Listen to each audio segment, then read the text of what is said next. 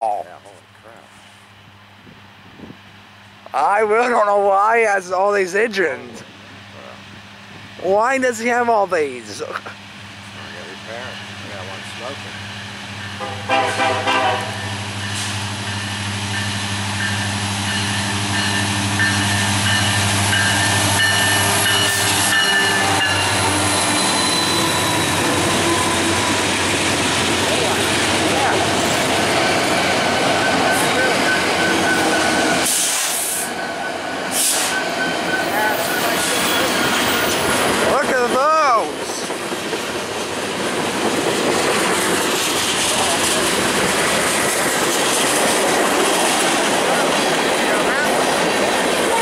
guys are going to cheer me on.